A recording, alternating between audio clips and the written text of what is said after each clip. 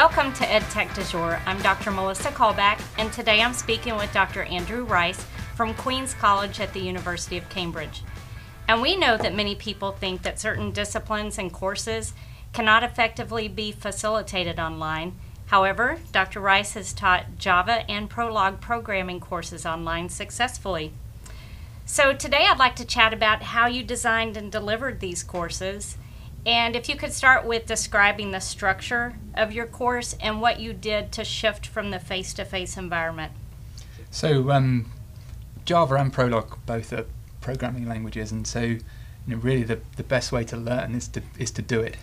And so, trying to teach these things in a traditional lecture based scenario is really not an effective way of trying to actually get students to learn best. So, what we did was we took the took the course that in its existing form and, and just redesigned it completely to work with workbooks rather than, than with a lecturer. And um, the other the other sort of problem that you have with, with programming courses is that you really want the students to be able to build a big artifact. You want them to be able to, to really build a program that has some meaning. And so if you're always writing small toy examples all the time, then you know there's really no sense of sort of progress. So the other sort of new thing we did was we, we built a online testing system so that the students can write some code and then the, the computer itself can say you know which bits are right which bits are wrong and also give some diagnostic feedback back. So if you make a mistake you can you can fix it in, in some way or another and so this means from an assessment viewpoint, we can uh, set much bigger programming tasks because they don't need to be marked by a teacher anymore. They can be they can be assessed by the by the computer system, and then and then the students can progress through and actually build you know a meaningful piece of software at the end. The idea of workbooks is that if you if you are already a good programmer or you're already having you know already got some experience, then you can you can use a workbook and go forward at your own pace. And you know, it's impossible to fast forward a lecture, but with a workbook you can skip ahead, go back to seek some material that you that you maybe didn't understand, and, and then go forward again from there. Absolutely, and it sounds like experiential learning at its finest. And you described how technology allowed you to automate some tasks, and uh, how did that allow the instructor to have more time to engage with the students?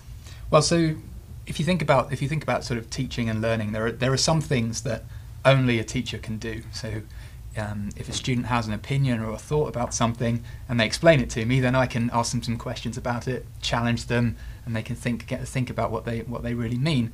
But other other aspects can be automated, and so the sort of theme we've been taking is trying to automate all the bits that we can, and thus leaving the instructor free to do the bits that a computer can't do. So if you take software testing as an example, I can write a program that will test your, your program, see which inputs work and see which ones don't. And then that leaves me free as an instructor to ask, why did you decide to do it this way? Maybe you should think about some better comments. That's a, a classic problem with, with new programmers. Or, or any sorts of those sort of more sort of stylistic things that really a computer struggles to make sort of meaningful feedback on. And did you provide that feedback on the assignments or on a discussion forum? So those were done on, on the assignments themselves. So the, um, the, the students write, write their program. And then obviously you can look at it from a sort of a functional viewpoint. And does it do what it's supposed to do? That's what the computer can test. But you can also look at how well it was written, what properties it has as a piece of software. And that needs the person. So you, the person then looks at those assignments to, to then give the feedback that they need. I mean, that doesn't actually have to even be done in person with a, with a computer program. You could right. imagine annotating and then sending back comments. And uh, but for the moment, it, that's something that we've done sort of face to face with the students. And how did you ensure balance between shallow learning and deep learning within those assignments and assessments as far as how you designed your course? Well, so um, shallow and shallow and deep is a is a good area because you know really with higher education, what we're thinking about is trying to teach our students to put the pieces together for themselves, and so you have to make sure that the questions you ask and the assignments you set are really testing that and really helping students to do it. And so um, I was reading just the other day. There's a, a really neat paper that talks about this this uh, framework called ICAP, which is about sort of a progression through maybe different stages of thinking about learning. And a student moves from say passive to active to constructive and then to um, interactive. And maybe if, if I if I do an example, so um, if you think about say somebody who's learning being tutored on maths, so um, at the passive level, um, if you were the student, then I might be writing out the answer for you, and, and you're paying attention, but you're not really doing anything. You're just you're just watching what I do, and that would that would be passive kind of learning. And then to take it up a level to active, maybe instead of me writing, I give you the pen, um, but I, but I sort of tell you how to write out the proof. And then to go to go any further than that is about getting the students to really start creating knowledge for themselves from the pieces that they know.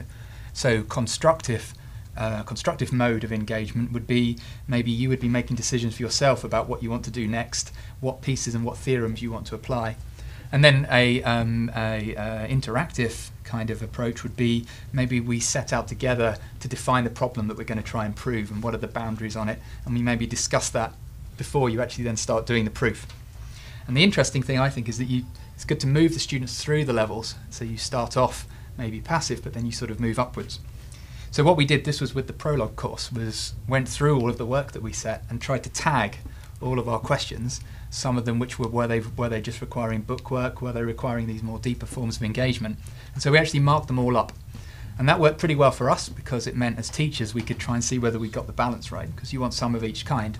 But it was also good for the students because they could really understand before they started a question what was going to be expected of them. You know, if you're feeling really tired, don't take on an open question that's going to take a lot of interaction. You know, just do the do the passive stuff, and then you can come back to it another time. So it's been a huge success for us. And it sounds like you had a really good way to measure and look at the holistic approach to the design of your course, looking at your course map and understanding where you had maybe a lot of uh, balance in one area and potentially gaps in another. And so it's a really good way to streamline everything.